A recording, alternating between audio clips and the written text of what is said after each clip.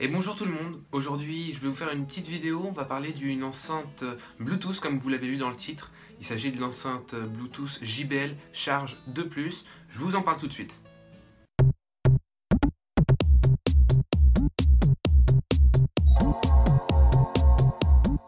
Donc cette petite euh, enceinte Bluetooth est bien sympa, elle est cette fois-ci de la couleur bleue, elle est disponible bien sûr en d'autres couleurs, en rouge, euh, il me semble aussi en noir, plein d'autres couleurs qui sont proposées par JBL.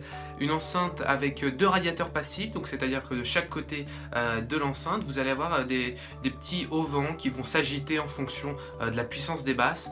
On en arrive pour parler des basses. Et les basses sont très bonnes.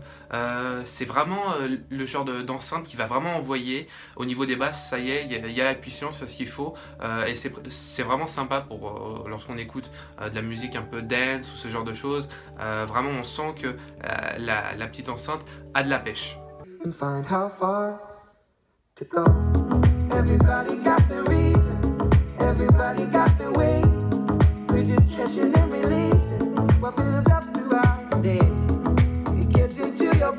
Après euh, cette enceinte, euh, vous pouvez par exemple vous y connecter donc avec n'importe quel matériel Bluetooth compatible. Euh, vous pouvez aussi vous connecter à plusieurs. Donc admettons que vous êtes en soirée, votre ami a envie de balancer le son qu'il adore, le son du, moment.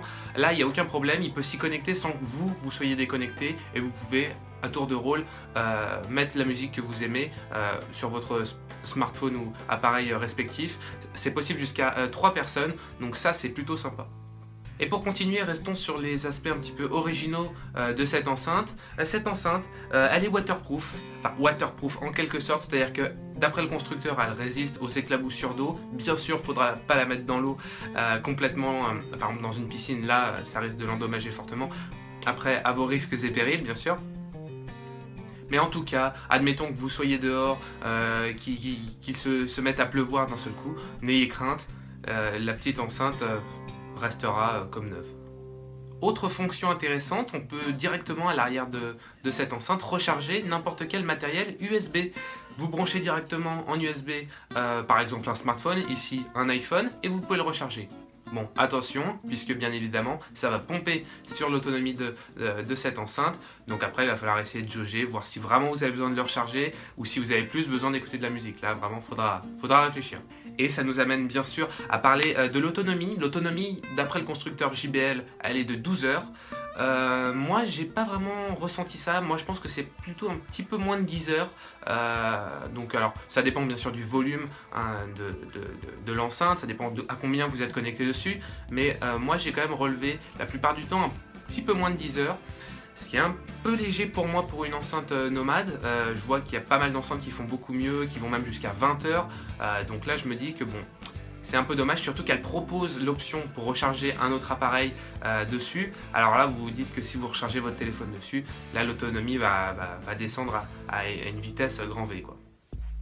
Et pour finir, cette enceinte permet également de prendre des appels. J'ai pu le tester, je trouve ça plutôt, plutôt sympa. Bon, un petit peu peut-être gadget, parce qu'on va pas être, par exemple, admettons, voilà, je vais pas être dans ma chambre et à me dire, tiens, ça y est, je vais recevoir des appels, ça va être génial, toute la, toute la maison va entendre ce que je suis en train de dire et va entendre ce que mon interlocuteur me dit. Donc, bon, c'est un petit peu gadget, mais ça fonctionne bien. Euh, la qualité est plutôt bonne. Voilà, là on a fait un petit peu le, tour euh, des caractéristiques techniques de cette enceinte. On va passer directement aux points forts. Pour moi, les points forts sont... Alors, dans un premier temps, cette enceinte est pour moi bien finie. C'est-à-dire que la construction est plutôt bien, il n'y a pas de, morceaux, enfin, il n'y a pas d'éléments de l'enceinte qui, qui bougent, qui gigotent. Donc pour moi, la construction est bonne.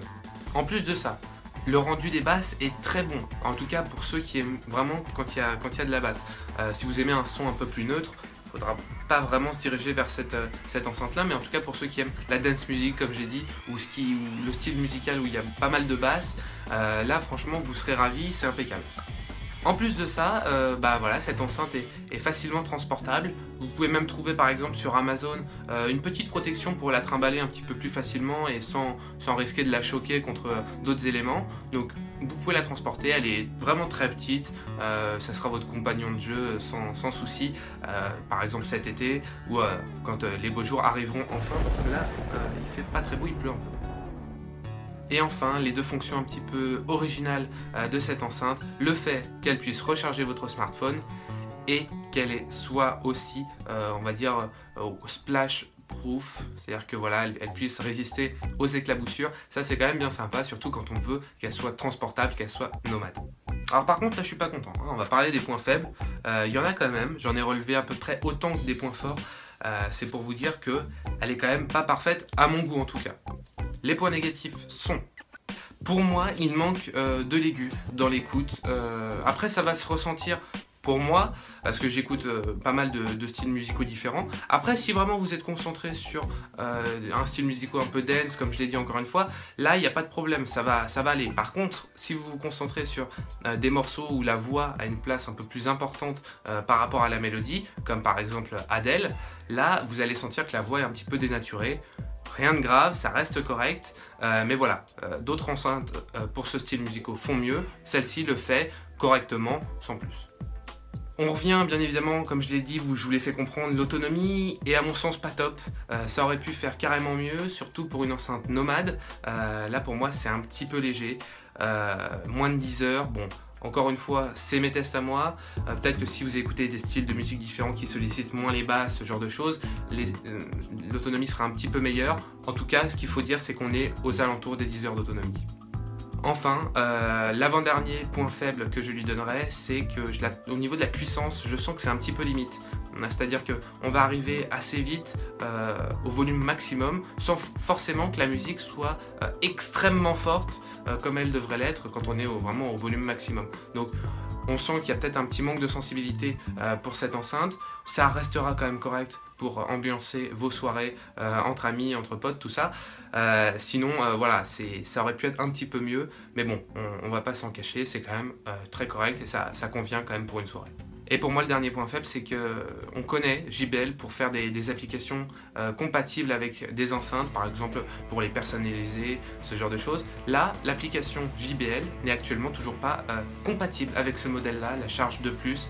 Euh, c'est un petit peu, un petit peu, oui, un petit peu délicat puisque l'enceinte est quand même déjà sortie il y a plusieurs mois et l'application n'est toujours pas compatible. Un petit peu dommage, mais bon, on croise les doigts, on espère que ça va venir dans quelques semaines, dans les semaines à venir, on espère. Et voilà, cette vidéo est terminée, j'espère qu'elle vous a plu. Euh, n'hésitez pas à me laisser des petits commentaires en dessous de cette vidéo si vous avez envie qu'on discute euh, sur le sujet de cette, enceinte-là. Euh, n'hésitez pas aussi à mettre un petit pouce bleu, à me rejoindre pourquoi pas sur Facebook, ça me ferait beaucoup plaisir. et puis sinon, on se retrouve une prochaine fois pour une prochaine vidéo. Bonne journée, bonne soirée, à bientôt, au revoir.